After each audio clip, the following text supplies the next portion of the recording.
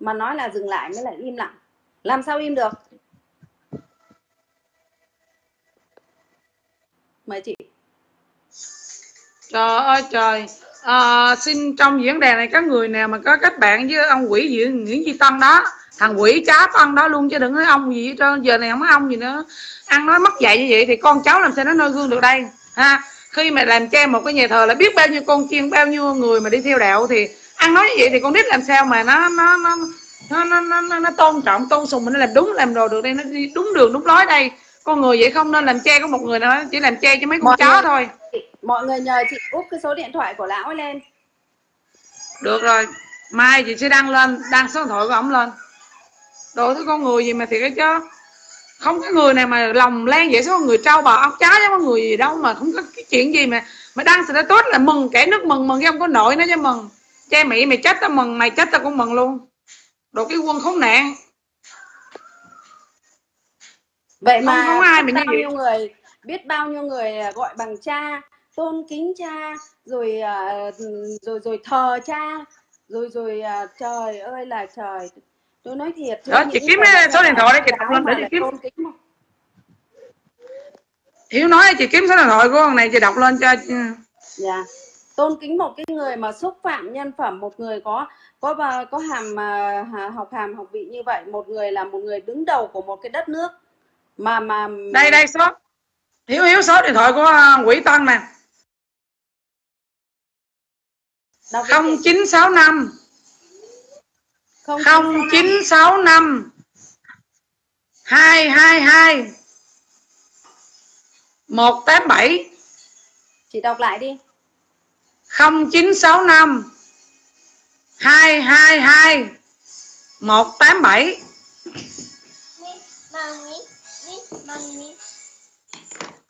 cả nhà nghe rõ chưa? Nghe rõ rồi thì ok để cho chị dừng lại. Cả nhà ghi được số điện thoại của Nguyễn Duy Tân chưa? không chín sáu năm hai hai hai một tám bảy rồi ok rồi Trời ơi, chưa từng thấy cái thằng tre này mà nó khốn nạn thằng tre. Mày lứa tuổi đâu phải con nhỏ nó, cái con này con phải là con. Lứa tuổi đâu phải con nhỏ nó đâu. Ăn nói gì mà không suy nghĩ, không biết gì con người thì cái chứ. Chẳng hạn như cái thằng Thái Vinland ở nước ngoài đi, ha. Nó chết nó chết vì bệnh ung thư á. Mình cũng đâu bao giờ nói ờ mày chết tao mừng vui vậy đâu. Mình chỉ nói sơ quan là ờ mày ở nước Mỹ, mày mày nói Việt Nam ung thư nhiều, đúng không? Mà sao giờ mày ở nước Mỹ mày cũng ung thư? Mình nói sơ qua là mình không nhắc đi nhắc lại, không bao giờ mà đăng cái kiểu sẽ tốt mất dạy như vậy. Trời ơi đồ cái thứ mắc dạy chưa từng thấy luôn. Wow cha mẹ để trúng cái thằng con mà xúc giặt xúc sinh đồ, thứ quái thai đồ, thứ trùng khuyết tật. Ô, con người chưa từng thấy. Hồi ngày, hàng ngày ăn cơm. Ô, không phải, hàng ngày nó ăn thịt chó. Không phải nó ăn thịt chó, mà ăn cất chó nó mới vậy, nó lộn nó lộn, nó ăn lộn. Con người mà ăn thịt chó hay ăn thịt cất chó, nói chuyện vậy, thấy được không? Wow chưa từng thấy luôn.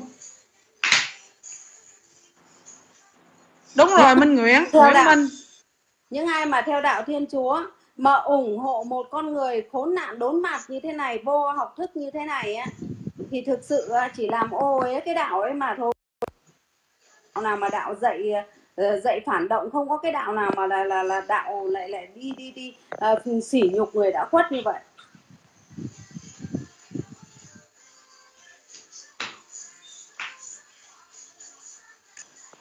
chị nói đi chị. Có cái ờ, cái à, a đỗ viết như, anh viết là có một lời khuyên hiếu ngập mề thật khá. Mình không phải phê chống đối, nhưng thấy chuyện có tính chất đi trước hơi sớm. Tại sao là đi trước? Ổng đã đăng status lên rồi mà sao lại đi trước? Ông để đăng trước mình mới có chuyện mình nói với đâu phải thì mình nghĩ chuyện mà nói với đâu đâu phải lúc ông ông nghĩ gì tăng ông chửi ông chửi trước khi Trần Đại Quang chết đâu. Trần Đại Quang chết là ông đăng lên mà. Tại sao là hơi sớm mà mà mà mà, mà đi trước? Là sao? Mình không hiểu. Ok. Mình không hiểu là đổ viết như nói gì là sao mình không hiểu. Anh Đỗ Viết Như nhá. Anh Đỗ Viết Như biết rằng Hiếu Ngọc không nói ẩu nhá. Hiếu Ngọc đã đọc cái status đó và Hiếu Ngọc có chụp lại cái status đó rồi. Và thậm chí nhiều người đọc chứ không phải là không. Trong khi cả nước đang đau buồn tiếc thương chủ tịch nước Trần Đại Quang mà ông ta lên mạng xúc phạm đến đến đến Trần Đại Quang như vậy, đến chủ tịch ờ, chủ tịch nước Trần Đại Quang như vậy, thử hỏi mọi người xem là một cái người linh cầu, một cái người cha đạo như vậy, có xứng đáng làm cha của những con chiên, của những người theo đạo công giáo không? Mình thấy không xứng, mình thấy không xứng. Cái từ cha cũng như không xứng. Mình không thể nào kêu từ cha tăng rồi không kêu cha được. Mình con mình mình, bản thân mình đại phật, con mình là con giáo, nhưng mình không chấp nhận không chấp nhận mình phản đối ông ông, ông che này không chấp nhận. Không thể nào ông này xứng được cái tên cái, cái chữ che đó không xứng. Không xứng. Không ai mà ăn nói mất dạy như ổng không xứng. Con người gì mà ăn nói mà lưu manh thất học? Con người ăn nói mà không có cái giáo dục không không không biết hàng ngày bưng cơm ăn á, mình muốn nói gì cũng phải xứng đáng với cái hộp cơm mình đang ăn chứ. Mình làm trời trời chưa từng thấy luôn á mắc dạy ông đâu phải lứa tuổi nhỏ, ông đâu phải bồng bột, đâu phải dục ăn dục nói nữa. Lứa tuổi mười mấy, hai mươi dục ăn dục nói, có thể nói bất cứ gì mình không suy nghĩ được. Còn lứa tuổi này dù cho mình có phản động hay chăng nữa, mình có ghét cái chế độ này hay chăng nữa, mình cũng không nên nói vậy trong thời điểm này. Tại khi cái dâm hồn người ta người ta nghĩa tự là nghĩa tận. Nghĩa tử là nghĩa tận, người ta người ta nằm đó, bao nhiêu người đang đau buồn. Thứ khốn nạn nó mới nói vậy chứ không ai nói vậy hết trơn đồ quân, lưu manh.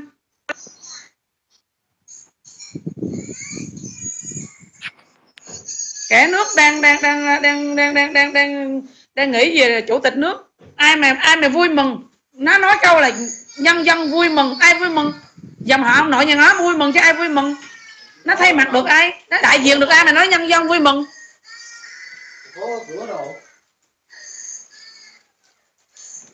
Nói đi hiếu, nói. Đây là chìa khóa nè. Bởi vậy nên anh Đỗ Viết Như thông cảm và hiểu cho em ngày hôm nay. Tại vì thực sự á, đối với em á, em rất ít khi mà mà nói về những người đạo, công giáo hay là những người cha hay những người linh mục nào. Bởi vì à, cái đó là quyền tự do dân chủ của người ta. Nhưng đây là một sự khốn nạn trơ chẽn khốn nạn đến trơ chẽn của linh mục Nguyễn Duy Tân. Khi mà ông ta lên mạng, ông ta viết lên cái status là ờ, thấy bác Trần Đại Quang mất, mà ông ta vui mừng chị ơi à, vô thường muốn lên chị chị bận thì để, chị bận thì để vô thường lên nhá rồi rồi rồi rồi, rồi. bye bye bye dạ.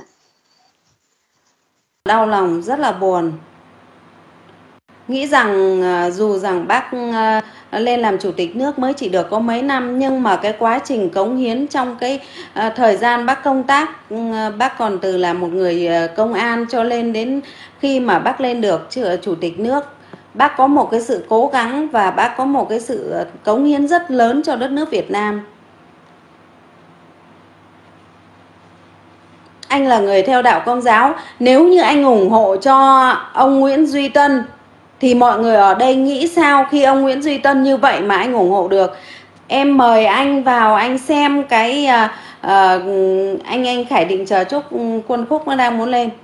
Ờ, anh vào anh xem cái trang tường nhà ông Nguyễn Duy Tân rồi anh sẽ hiểu tại sao ngày hôm nay bức, bức xúc như vậy tại sao ngày hôm nay Hiếu Ngọc bức xúc như vậy. Ừ. Chứ không phải tự nhiên mà Hiếu Ngọc lên đây ngày hôm nay Hiếu Ngọc bức xúc ờ, có những cái cái cái lời lẽ mà đẹp mà nói ông ta như vậy.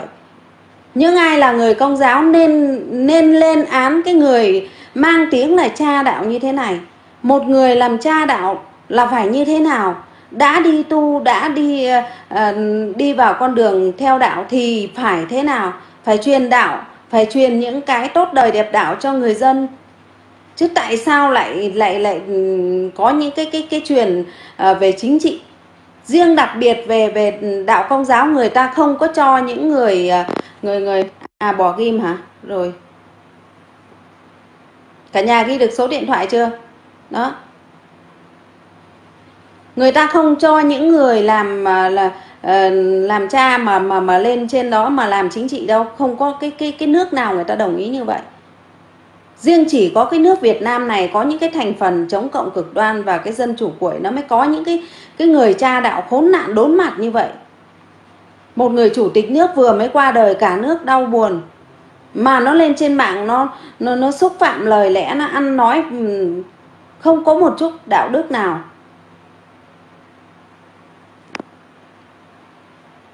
Người dân mà bây giờ tôi hỏi mọi người ở đây, khi bác Trần Đại Quang, bác ấy lên làm được chủ tịch nước, bác ấy phải phấn đấu biết bao nhiêu năm tháng?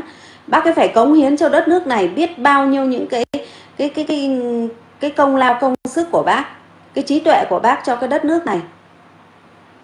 Trên cái con đường ngoại giao đưa đất nước phát triển, đâu có phải là đơn giản đâu, mà tại sao mọi người lại ủng hộ cho bác cái được cho cho cái thằng Nguyễn Duy Tân này được?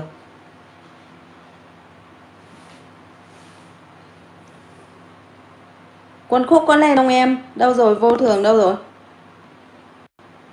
Có lên không thì để chị mời người khác.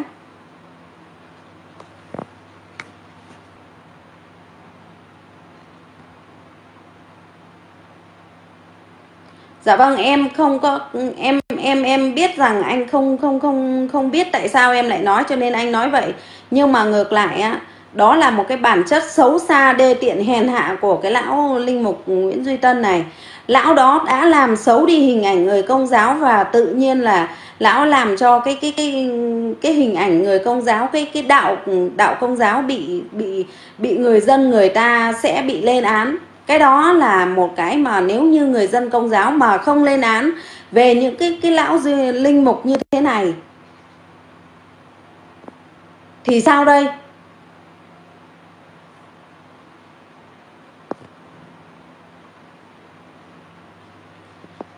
Thì sao đây? Chỉ có những con người vô lương tâm, vô đạo đức mà một vị chủ tịch nước vừa mới qua đời mà kêu là vẫn vui, vẫn vô tư. Đó là những con người có não mà, có đầu mà không mang não mà thôi. Các người tưởng rằng cái đất nước này bình an như ngày hôm nay á, là là nó là tự nhiên, là lẽ thường tình à? Hay đây là cả một cái quá cả một cái cái quá trình đấu tranh và giành độc lập giành chiến thắng giành tất cả những cái gì là là là bình an cho người dân. Thử hỏi để cho các người lên làm uh, chủ tịch nước hay làm ờ, nói xin lỗi mọi người một câu là Hữu Ngọc thấy có một điều như này này ông nào nó cũng hay hết nhưng mà khi mà lên làm đi thì biết.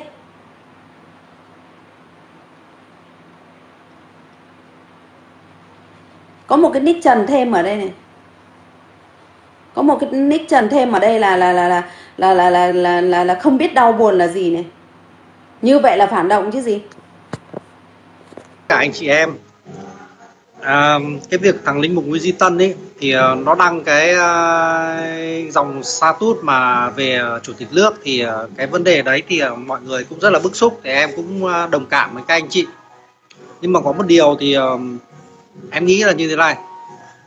Ờ, cái vấn đề của thằng Tân ý, thì uh, tất cả mọi người đều rõ rồi. Nó là một thằng uh, phản bội tổ quốc là một cái thằng mà tôn sùng cái lá cờ vàng ba sọc đỏ. Nó đã công khai rồi và cơ quan uh, cụ thể là cái cơ quan công an phòng BA88 của công an Đồng Nai thì đã liệt nó vào cái sổ đen rồi. Cho nên là em nghĩ là bên cơ quan pháp luật người ta biết nhưng mà người ta đã mời nó rất nhiều lần lên để uh, làm việc và có những cái phát ngôn không đúng mới mới mới mới cái nhiệm vụ là một người mà làm cha xứ ở cái giáo sứ Thọ Hòa Xuân Đồng Lai thì uh, em có mấy cái điều là như thế này. Cái vấn đề thằng Tân ý, thì ờ, tất nhiên là mọi người bức xúc thì cũng đúng bởi vì không có gì gì mà một người mà đã chết đã mất thì là nghĩa tử là nghĩa tận. Cho nên là nó làm như thế thì cộng đồng lên án là đúng. Mà bản thân những cái bà con giáo dân là một người theo đạo. Với một thằng linh mục như thế thì ờ, bà con giáo dân không bao giờ chấp nhận được. Bởi vì Chúa không bao giờ dạy cha làm những cái điều phản phúc. Chúa không bao giờ dạy cha làm những cái điều mà chống lại những cái cái ờ, cái cái cái nơi mà mình đang đang đang đang giảng đạo. Đấy. Thì uh, em nghĩ rằng là một điều là chúng ta bức xúc thì là đúng nhưng mà theo em ấy thì à, mọi người à, lên vạch mặt nó ở trên cái cộng đồng mạng để cho bà con giáo dân và mọi người nhiều người biết để nhân rộng. Chứ còn chúng ta mà làm những cái việc mà mình đến mình gặp nó mình à, đập nó hay là mình tát nó hay mình lại đến giáo sứ thọ hòa ấy, thì em giới thiệu vô cớ mình lại vi phạm pháp luật. mình thì lại vô tình vi phạm pháp luật bởi vì là như mọi người à, cứ bình tĩnh, chờ nó chỉ còn khoảng độ à, mấy tháng nữa thôi. Sang mùng 1 tháng 1 năm 2019 nó có luật an ninh mạng. Thì em dám cam đoan với mọi người rằng là những cái ngôn từ của thằng Nguyễn Duy Tân này chắc chắn là sẽ bị phải đưa ra pháp luật. Nên là cứ cho nó cố thêm mấy tháng nữa đi. Có lên những hành hành vi xấu của thằng Nguyễn Duy Tân này để cho, thứ nhất là bà con công giáo biết cái thứ hai là để toàn dân Việt Nam mà người trong và ngoài nước biết về cái hành vi của nó như thế. Vạch ra cho nó vạch ra cái hành vi của nó như thế là khốn nạn là bị ổi. Để cho bà con biết để mình lên án nó. Bởi vì uh, nó đã dùng cái truyền thông mạng xã hội này thì mình cũng dùng cái truyền thông mạng xã hội. Nhưng mà đối với nó ấy, nó chỉ là một số lẻ. Còn mình là số đông. Thì mình sẽ tuyên truyền được nhiều thì bà con sẽ hiểu. Em nghĩ là cái vấn đề mà thằng Tân này mà anh chị em cộng đồng mạng vạch mặt nó thì rất nhiều rồi. Thậm chí bản thân em thì em cũng vạch mặt nó đến hơn 10 cái clip và livestream ở các kênh các kênh truyền thông mà, mà như Việt Vision rồi một số kênh nữa. Đấy thì em đã vạch mặt nó rất nhiều rồi. Và thậm chí em còn ngồi hội luận với cả các anh chị à, cô bác cựu chiến binh nữa. Vạch mặt của nó những cái hành vi của nó rất nhiều. Cho nên là chúng ta cứ vạch mặt nhiều thì cơ quan pháp luật người ta lập tức người ta lại phải sờ gáy nó. Đấy còn cái việc trước mắt thì chúng ta có thể làm được như thế. Còn tất nhiên là em cũng đồng cảm với các anh chị là bức xúc nó thật mà mình cũng không nên làm cái gì mà vi phạm pháp luật bởi vì ờ, ở nhà nước mình thì vẫn còn à, cơ quan pháp luật là cái phòng à, BA88 ấy của cơ quan an ninh ấy, họ chuyên quản lý về an ninh tôn giáo ấy thì họ sẽ có chức trách. Và chúng ta càng nói nhiều thì họ sẽ nhìn thấy và họ sẽ mời nó lên làm việc. Đó là điều chúng ta cần làm bây giờ chứ chúng ta bức xúc nó quá mà chúng nó làm những cái việc gì mà tự nhiên là bản thân chúng ta lại sai trái pháp luật thì cũng không lên.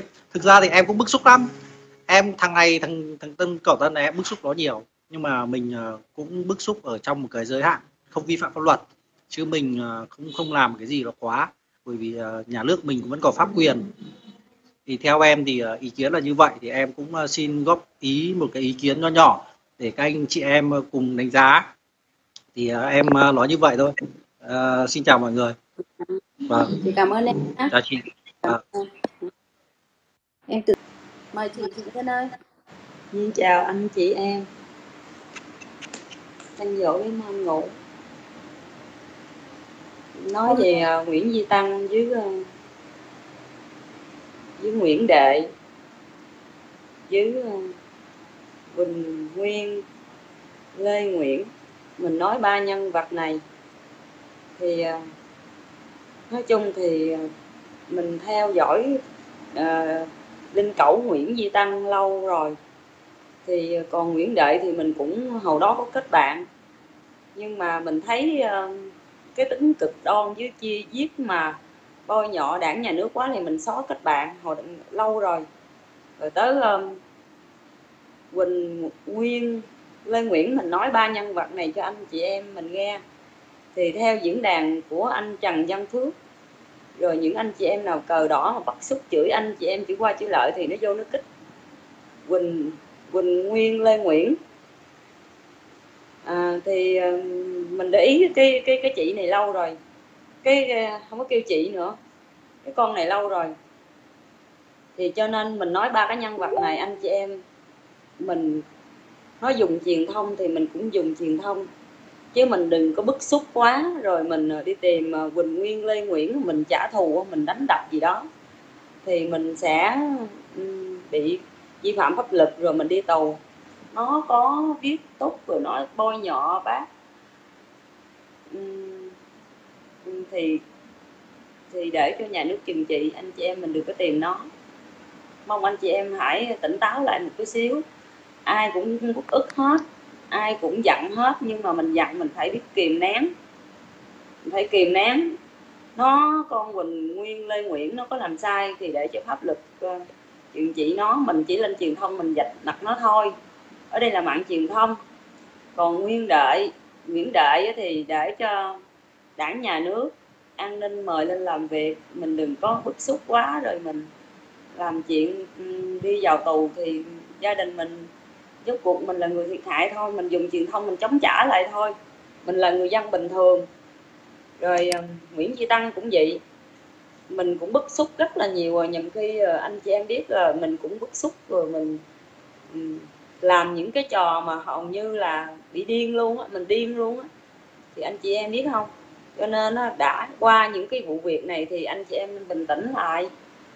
Mình lấy dòng dùng truyền thông này á mình tiên truyền mình tiên truyền đến cho bà con biết là bà con giáo dân hãy tỉnh táo lại những người như vậy mình không to mình không nó không xứng đáng để cho mình à, nó làm cha mình.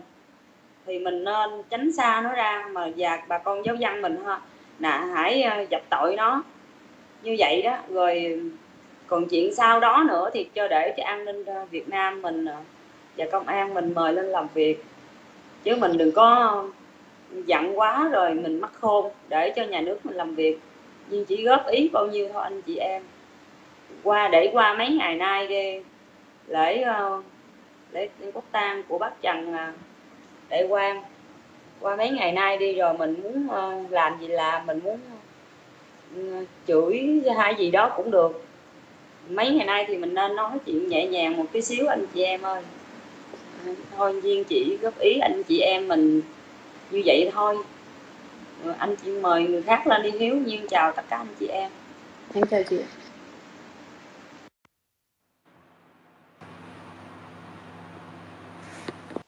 trọng còn người nào không đáng thì chúng ta hãy tẩy chay người đó để người khác lên. Người ta lãnh đạo người ta truyền đạo tạo đời chứ không phải như cái người linh mục này. Xin mời anh ạ. Rồi uh, trước tiên là uh, xin uh, chào Hiếu Ngọc chào tất cả các anh các chị ở trên diễn đàn của Hiếu Ngọc hôm nay ờ, cũng ờ, xin được lên ờ, diễn đàn của Hiếu Ngọc bởi vì cũng rất là căm phẫn và bức xúc sau khi mà chúng ta được đảng và nhà nước thông tin một cái tin cực kỳ đột ngột và bất ngờ. Tuy rằng dù rằng trước đó thì chúng ta cũng đã có sự, một sự tiên đoán rồi, bởi vì cái tin là cố chủ tịch nước Trần Đại Quang đã từ trần vào lúc 10 giờ 5 phút ngày 21 tháng 9 2018 thì đây là một cái tin mà rất là đau thương, rất là xót xa đây là một cái sự ờ, mất mát cho cả đảng và nhà nước cũng như là nhân dân đất nước Việt Nam chúng ta khi mất lên một người chủ tịch. Thì chúng ta biết rồi thì uh, chủ tịch nước Trần Đại Quang ấy là cũng đã phát hiện ra cái sức khỏe mình kém và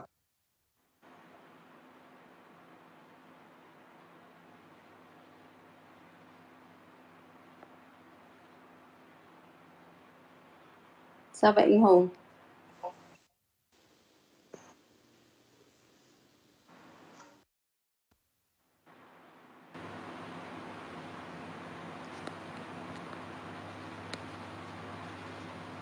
Cái ông Nguyễn Duy Tân này. Tôi cũng mong tất cả những anh em mà có đạo đó, hãy nhìn lại những người nào mà người ta chính nghĩa theo đạo, thì mình hãy theo. Chứ còn đối với ông Nguyễn Duy Tân này là kẻ phản động, không đáng mình, xứng đáng mình kêu là cha. Tôi nói đây là cho những các anh em ở trong đạo. Chúng tôi đây không phải phân biệt đạo hay là không có đạo. Nhưng mà mình phải nhìn nhận được cái sự thật của mình là như thế nào. Còn các bạn cũng đã từng biết tôi lên diễn đàn rồi đúng không? Thì tại vì ban đêm thôi thì tôi mới nói với các bạn như thế.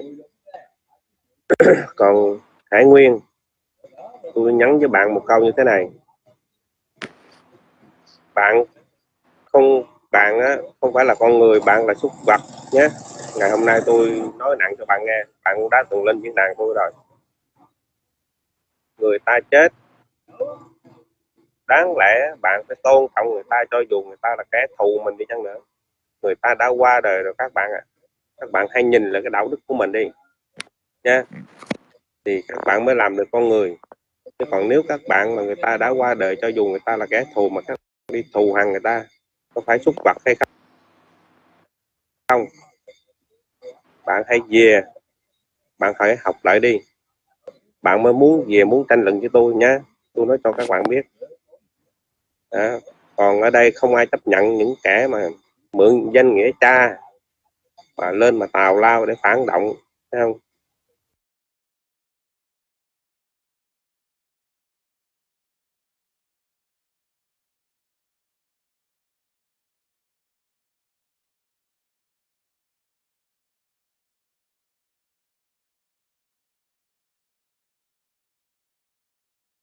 thì cũng không sớm thì muộn thôi.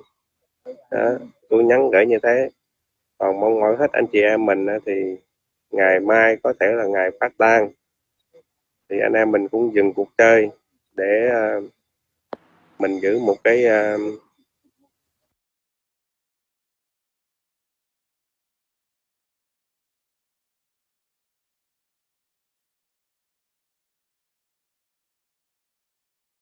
rồi anh chị em chúng ta hãy quay lại diễn đàn để chiến đấu để giữ giữ, giữ vững cái đất nước này không để những kẻ nào chống phá được. Chín mươi mấy triệu dân này không bao giờ nghe các bạn đâu. Tôi nói cho các bạn nghe như thế. Nhất là Hải Nguyên. Bạn cũng thấy bạn comment cho mà bạn nói chết vui mới đúng chứ làm gì buồn? Thì bạn là xúc vật chứ không phải là con người nhé thôi em cảm ơn chị Hiếu Ngọc. Ngày hôm nay em cũng uh, bức xúc nhưng mà chỉ nên uh, tham gia với chị nói vậy thôi. Còn uh, mình cũng uh, rất là buồn mình cũng chẳng có vui gì đâu. Nói thực tế là như thế. Rồi em cảm ơn chị cảm ơn tất cả anh chị em ở trong diễn đàn nhé. Rồi cảm chào chị.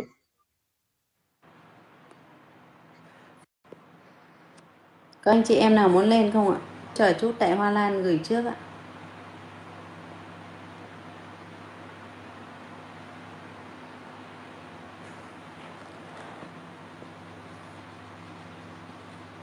anh Vinh Đỗ chờ chút để ờ, Hoa Lan lên trước. Ừ, Hoa Lan gửi trước nha thành ra em mời trước. Minh Nguyễn hả? Minh Nguyễn ờ, thoát ra xong vào lại đi Minh Nguyễn. Của em không có camera nhá. Em thoát ra xong em vào lại. Để cho có camera thì chị mời em chứ giờ không có camera.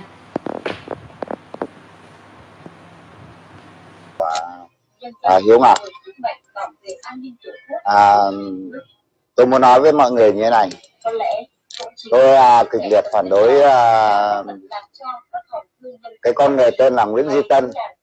bởi vì à, cho tới tới giờ phút này thì chúng ta trên cộng đồng mạng ai cũng biết là Nguyễn Duy Tân không còn là linh mục nữa đã đã được cả cái à, giáo phận Xuân Lập người ta đã xử lý và coi như là đuổi ra khỏi khỏi khỏi khỏi khỏi khỏi giáo sứ Thọ Hà rồi. À, cho nên là chúng ta không cần nói đến cái chữ linh mục nữa và cũng không cần nói đến cái chữ cha đạo nữa. Đó là một. Cái thứ hai nữa là hôm nay thì à, chúng ta đất nước ta có một cái uh, việc à, chủ tịch nước Trần Đại Quang coi như là mất. Thì à, tôi nói, muốn nói với các bạn như thế này này. Tất cả những người dân ở trên đất nước Việt Nam mình á, thì à, nó có một cái truyền thống là nghĩa tử là nghĩa tận.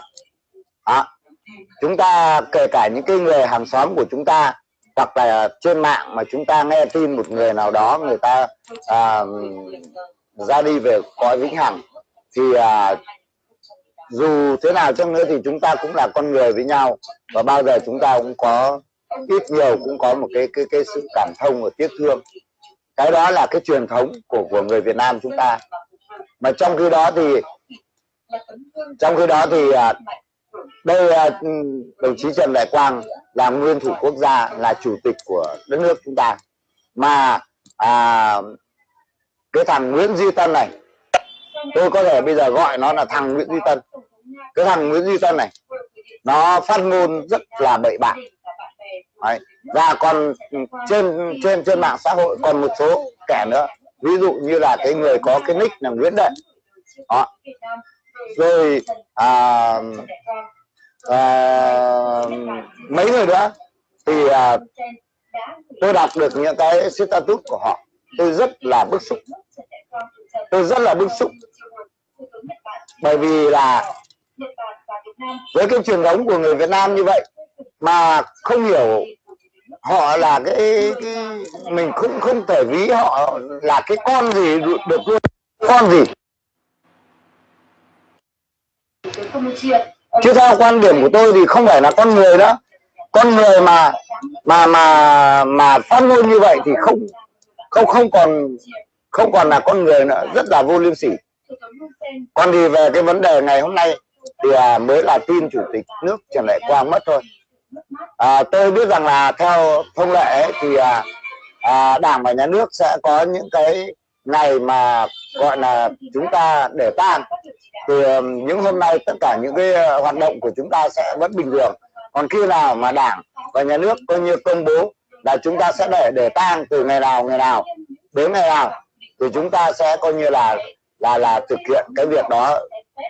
À, chứ không vì là một ngày hôm nay mà chúng ta không có thể lên án những cái kẻ mà có những cái cái cái cái cái hành động những cái lời nói hoặc là những cái cái cái tuyên truyền xuyên tạc như cái cái cái thằng Tân này. Ở đây thì chúng ta phải lên án mạnh mẽ phải lên án thật mạnh mẽ để để để ăn để cho những cái cơ quan chức năng, người ta biết được những cái cái cái cái vấn đề đó, để mà người ta có những cái biện pháp xử lý và trừng trị đích đáng đối với những cái kẻ như thế. Đó. Chứ không phải là tất cả. Cho nên là nếu như không có cái tiếng nói của chúng ta, thì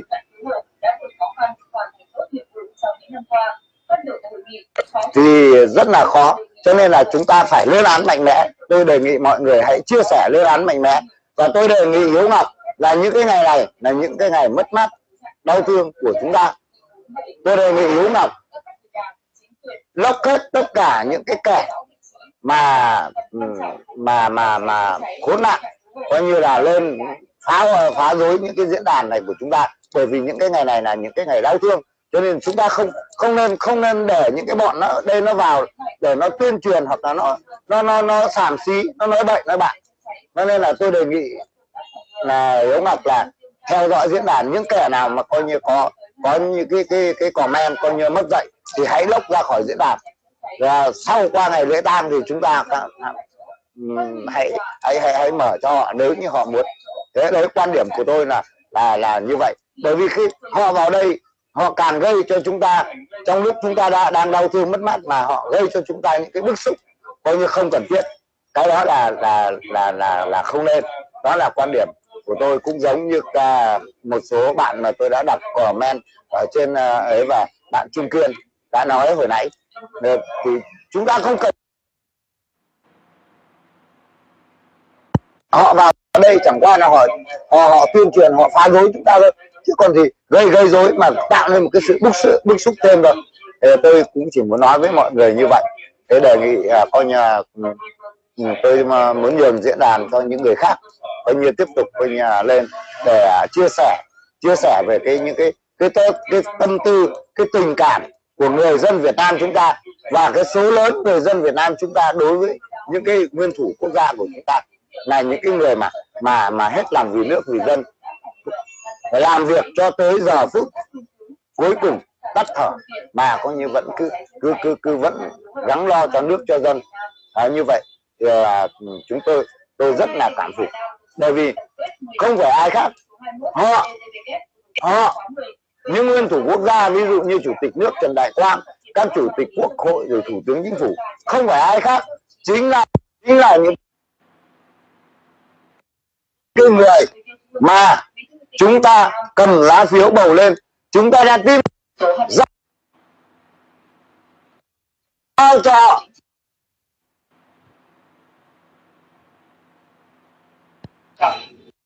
Thay mặt chúng ta để lãnh đạo đất nước, khi họ mất đi, đương nhiên, chúng ta rất đau lòng. Chúng ta rất rơi đèn nghị với hiếu học như vậy. À, xin cảm ơn mọi người. Xin cảm ơn mọi người. Xác lập đấu tranh phá 542 chuyên án triệt phá 628 Đạt Văn Trần không có camera em ơi. Đạt Văn Trần ơi em thoát ra rồi em vào lại nhé không nhiều người biết em rồi mà thôi không sao đâu em ờ, không tiện thì em cứ nói thì cũng được thì ờ, khi chia sẻ như này uh, em ờ, nghĩ rằng là ở đây thì có nhiều bác nhiều cô nhiều chú hay là anh chị cũng uh, rất là bức xúc về những cái uh, đối tượng đấy. Uh, và em chỉ muốn uh, chia sẻ với mọi người là những ai mà mong muốn thôi nên là quan điểm cái là uh, mọi người có thể là gỡ những cái bài mà chia sẻ những tức là có thể nói đích danh những cái người đó nhưng mà gỡ những cái hình ảnh những cái bài mà chia sẻ những cái ngày mai anh uh, Derek Johnson. Uh, luận điệu xuyên tạc của của của của những cái thành phần đó.